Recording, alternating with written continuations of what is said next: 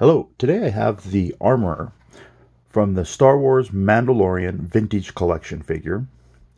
This one is the from the popular TV series The Mandalorian.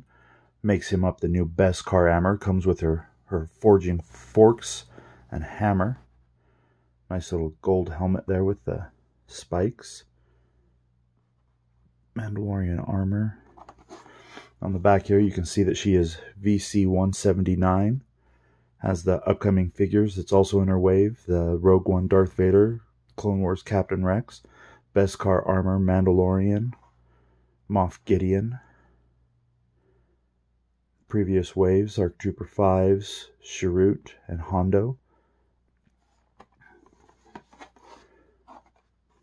Good looking card back there with the picture of the live action actress in front of her forge with her forging weapons. Let's go ahead and get her open, shall we? Once again, I'm going to take my nice little pocket knife here. Get underneath that edge. Get that cut around.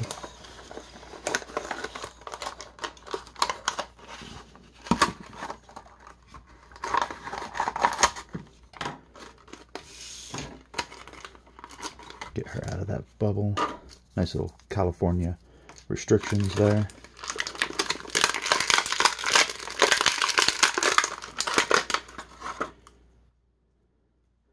There we go, got her out of her, her plastic prison.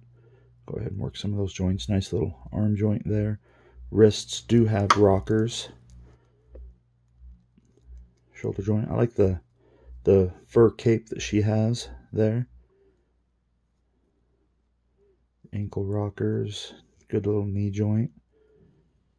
Even though she does have a hard plastic skirt, does look like she has some decent hip articulation there. Double ball jointed neck.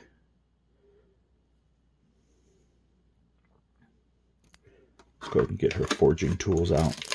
I like in the TV series where she uses these forging tools to completely own some stormtroopers that were coming in to arrest her for aiding the escaped Grogu, as we now know him.